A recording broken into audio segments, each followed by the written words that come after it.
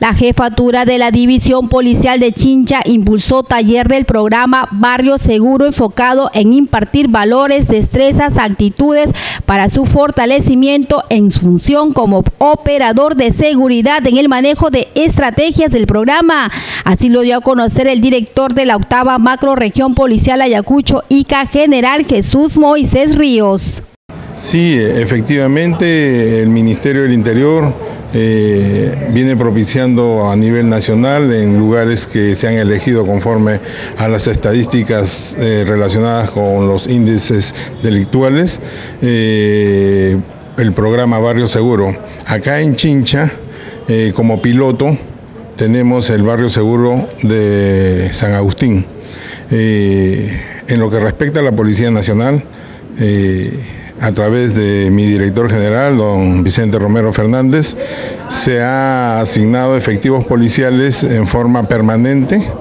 para, en una cantidad inicial de 30 efectivos y asimismo con la dotación de patrulleros que han llegado al departamento se está asignando un patrullero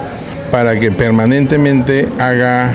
eh, patrullaje motorizado en la zona. Pero el tema pues no es que solamente se van a ver beneficiados los vecinos del barrio eh, San Agustín, sino también se van, están viendo beneficiados los vecinos del barrio satélite, de, los demás UPIs o asentamientos humanos eh, del distrito inclusive de Pueblo Nuevo.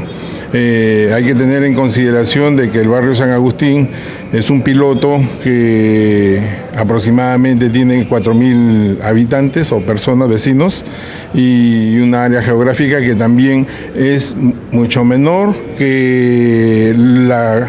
área geográfica que cobertura la comisaría de Chincha. En ese contexto, eh, nuestro, nuestra obligación está yendo más allá, por eso es que los vecinos ya pueden percibir ¿ah? la presencia policial en los asentamientos humanos, de, inclusive del distrito de Pueblo Nuevo, eh, donde están los vecinos ahí haciendo grandes esfuerzos por materializar sus, sus anhelos y objetivos personales y familiares. Bueno, general, ha venido justamente, vemos la presencia de expositores mexicanos y un especialista que, de seguridad para este curso de capacitación, tanto para efectivos y serenazgo.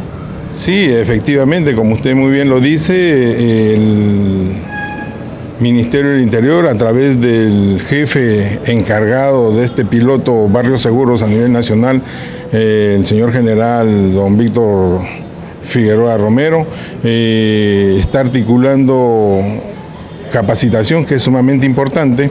trayendo experiencias de otros países, eh, también en el tema de la seguridad ciudadana. El día de hoy tenemos al consorcio, al consorcio Internacional de Arte y Escuela con Arte, que este es un taller de capacitación de seguridad ciudadana y que precisamente ellos ven el tema referente a la construcción de convivencia ciudadana, ciudadanía y cultura de paz en escuelas, comunidades urbanas y espacio público. Este, estas charlas, este taller, eh, se está llevando a cabo con personal policial eh, del piloto Barrio Seguro, personal policial de acá de la comisaría de Chincha disponible en situación franco y también con personal de, de Serenazgo que tener en cuenta pues que en el aspecto de la seguridad ciudadana, nuestro alcalde, la, la primera autoridad local, eh, es eh, quien, el presidente de la seguridad ciudadana y quien dicta las políticas y a través de su área de seguridad ciudadana se constituyen no solamente el área de seguridad ciudadana, sino Serenazgo, así como también las gerencias de transporte urbano, fiscalización y otros en nuestros aliados estratégicos para poder no solamente combatir la delincuencia, sino también poner un poco de orden en algunos establecimientos públicos que expenden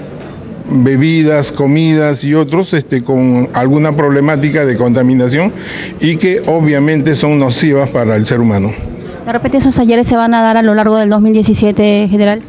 Sí, yo estoy seguro que sí, no solamente con ellos, este, como le decía, el Ministerio del Interior este, tiene este tipo de programas piloto, Barrio Seguro,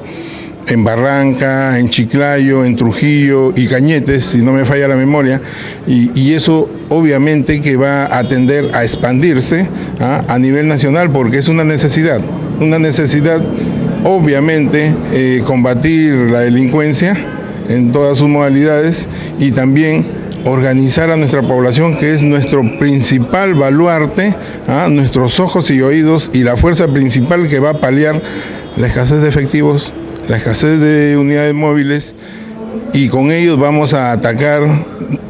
quizás los orígenes de donde se genera la problemática delincuencial que muchas veces en algunos casos parte de los mismos hogares.